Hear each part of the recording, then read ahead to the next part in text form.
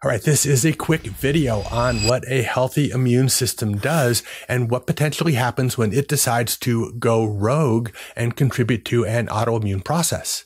In its simplest form, the immune system distinguishes between self and non-self.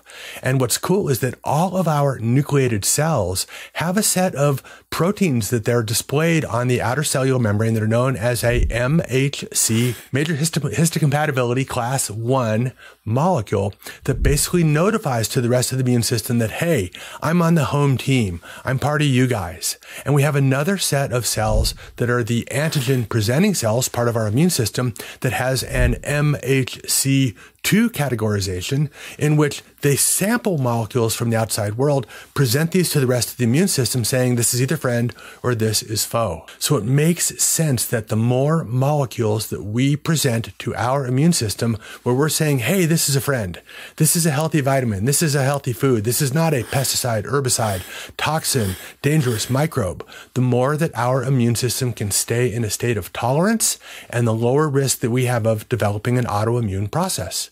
But if you guys want to know everything about autoimmunity, I've done a long form video, which is listed in the description below. I did, and I'd invite you to meet me there where we discuss what precipitates autoimmunity and most importantly, some functional practical steps that you can take to turn it around. All right, guys, I'll see you there and take care.